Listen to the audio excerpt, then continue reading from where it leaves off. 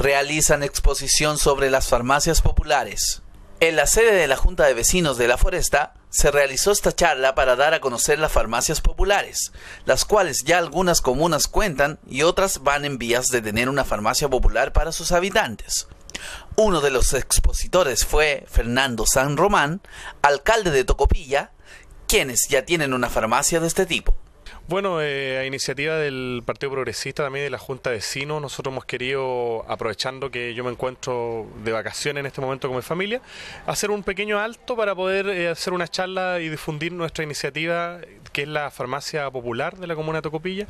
Esta es una iniciativa que parte primero en la Comuna de Recoleta y que muchos municipios de Chile, eh, uno de los primeros fuimos nosotros como Comuna de Tocopilla en imitarlo y sumarnos a esta iniciativa porque es una iniciativa que realmente va a impactar en la calidad de vida de los ciudadanos, porque nos permite entregar remedios que son de un uso permanente, enfermedades crónicas que afectan a muchas familias en nuestro país, a un precio pero considerablemente más bajo. Estamos hablando de eh, una décima parte en algunos casos del valor y a veces más bajo incluso remedios que en el mercado tradicional, en las grandes cadenas de farmacias, tú los encuentras a 50 mil pesos, aquí pueden estar a 5 mil, a 6 mil pesos. Es una diferencia abrumadora, lo conversamos recién con algunos vecinos, ellos traen los remedios que consumen y en esta farmacia popular, si se implementa, se puede encontrar un precio considerablemente más bajo, lo que impacta en la calidad de vida porque les permite acceder a esos remedios y poder hacerse el tratamiento, pero sobre todo en su bolsillo, en su economía familiar y que es tan necesario hoy día. Hay gente que tiene pensiones miserables de 80 mil, 90 mil pesos, no les alcanza y esta iniciativa va a ayudar mucho muchas esas personas que no tienen grandes ingresos. San Román añadió que al impulsar estas farmacias con valores mucho más bajos, impactarán positivamente la calidad de vida de las personas. Es una iniciativa que impacta directamente en la calidad de vida de la gente porque nos va a permitir acceder a remedios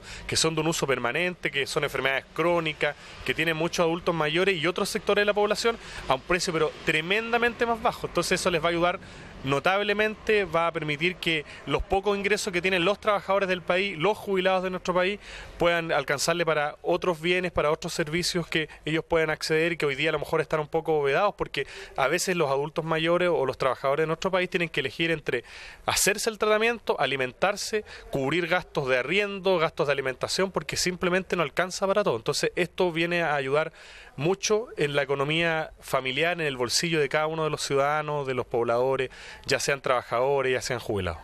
La clave para las farmacias populares se basa en que los municipios adquieran los medicamentos directamente en la cena BAST.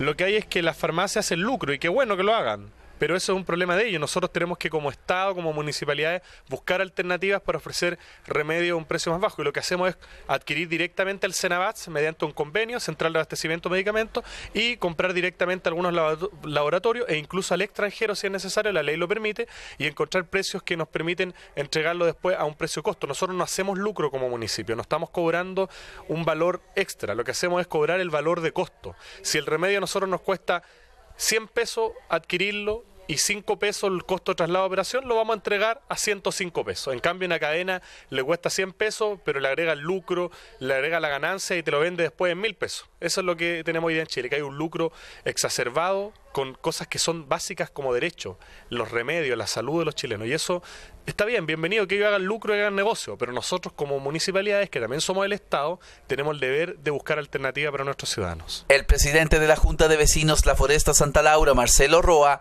destacó la visita del alcalde de Tocopilla y llama que acá se hagan los trámites para una farmacia popular. Bueno, primero que todo, estoy feliz. Me costó cualquier cantidad poder contactarme con el alcalde de Tocopilla porque tiene una agenda muy copada.